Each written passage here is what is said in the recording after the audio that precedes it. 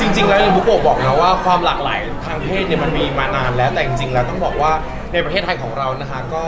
เริ่มที่จะชัดเจนก็ถือว่าเป็นหมุดใหมายที่ดีสำหรับงาน Bangkok Pride Festival 2024 ก็จะจัดยิ่งใหญ่ไปเรื่อยๆบุโกะในตัวแทนของ LGBTQ+ นะคะก็ดีใจมากๆที่เป็นอีกพลังขับเคลื่อนที่ทำให้พวกเราเนี่ยได้แสดงตัวตนรวมถึงความหลากหลาย แล้วก็สมรสเท่าเทียมก็ถือว่าเป็นหมุดหมายที่ดีก็ขอบคุณทุกๆฝ่ายที่ร่วมกันทำให้เกิดงานดีแบบนี้ขึ้น แล้วก็ เป็นงานที่ทำให้พวกเราชาวสีรุ้งทุกๆคนนะคะ มีจุดมุ่งหมายแล้วก็แสดงความเท่าเทียมกันค่ะพี่ปูล่ะคะ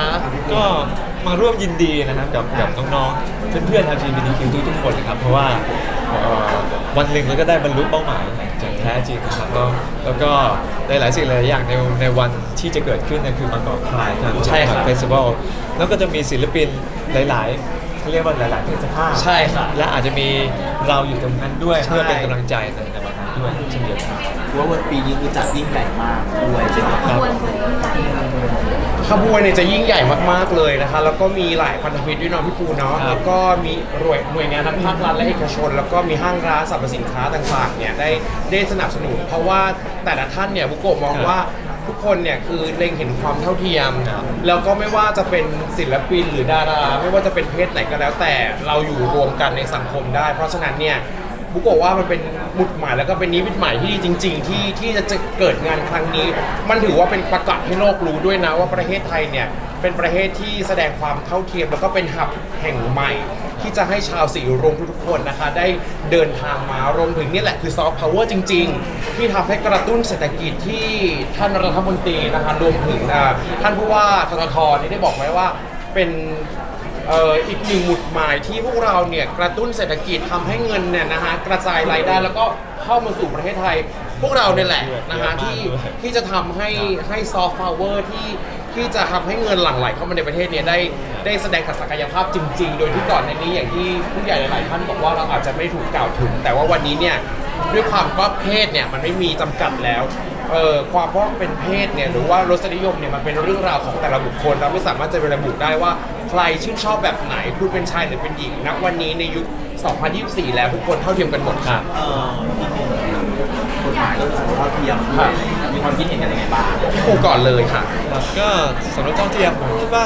อันที่จริงแล้วน้อยน้อยประเทศนะที่จะที่จะเกิดขึ้นนะครับ แต่ว่าเรามองเห็นแล้วว่าเอาเอาจริงแล้วตอนผมมัธยมเนี่ยผมก็เจอเพื่อนๆที่เป็น LGBT มาตั้งแต่มัธยมแล้วเราเล็งเห็นว่าประเทศไทยมีเยอะนะค่ะเยอะมากๆแล้วเป็นประเทศหนึ่งที่ เรียกได้ว่าเอ่อคาบาเล่ก็โด่งดังสุดๆใช่ดังสุดๆเลยดังกว่าประเทศใดๆ แล้วก็มีความเอ่อเรื่องของความสามารถของ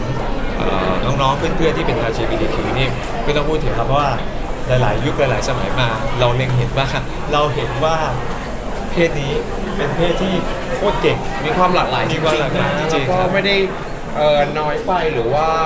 จะได้ไปกว่าใครเลยด้วยผมว่าทั้งหน่วยงานไม่ว่าจะเป็นภาครัฐและเอกชนหรือว่าห้างร้านต่างๆเนี่ยนะฮะต้องมีคนที่มีความหลากหลายทางเพศอยู่ด้วยแล้วแหละเพราะว่า พวกเราเองนะอยู่ร่วมในสังคมได้ แล้วก็สร้างความสนุกสนานรวมถึงความเท่าเทียมแล้วก็ความคิดสร้างสรรค์อะไรใหม่ๆให้กับทุกองค์กรอยู่แล้วค่ะ แต่สำหรับเรื่องสมรสเท่าเทียมนะบุกโกก็ต้องขอแสดงความดีใจสำหรับทุกๆท่านเลย เพราะว่ากฎหมายได้ออกมาชัดเจนแล้วเพราะก่อนอันนี้ปัญหามันเกิดขึ้นจริงๆนะคะ อย่างเช่นว่าคู่สมรสนะคนใดคนหนึ่งเนี่ยที่จะต้องแบบมีการผ่าตัด แล้วก็รักษาโดยด่วนเนี่ย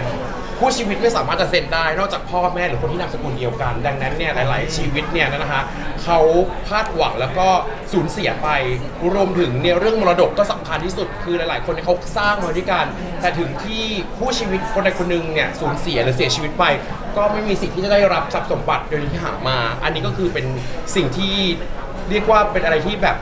บุกโกะดีใจนะสำหรับคนที่เขามีคู่ แล้วก็เราเห็นรุ่นพี่เรารุ่นปู่รุ่นย่าเราหรือว่าพี่ๆ LGBT ที่เขาประสบปัญหาแบบเนี้ยหลายคน จนวันนี้เนี่ย ทุกคนเล็งเห็นถึงความเท่าเทียมกันอันนี้ก็คือนิมิตหมายที่ดีจริงๆรวมถึงเนี่ยนะฮะอย่างที่บอกว่าหลาย ๆ คนถามถึงเรื่องการขอบุตรบุญธรรม อันนี้เนี่ยนะคะเอ่อได้ถามผู้ใหญ่มานะคะรวมถึงทางกฎหมายเนี่ยตอนนี้ก็สามารถที่จะทำได้แล้ว แต่ว่าอาจจะมีบางจุดที่จะต้องมีการควบคุมหรือดูแลอย่างเช่นเด็กหลอดแก้ว หรืออะไรอย่างเงี้ยต้องถามกระทรวงสาธารณสุขในการแก้กฎหมาย แต่เหนือสิ่งอื่นใดนี่คือหมุดหมายที่ดี นี่คือนิมิตหมายที่ดีที่เราจะก้าวไปสู่สังคมที่เรียกว่า เจริญจริง ๆ แบบเต็มรูปแบบแล้วก็เต็มปากเต็มคำค่ะใช่ อะสุดท้ายฝาก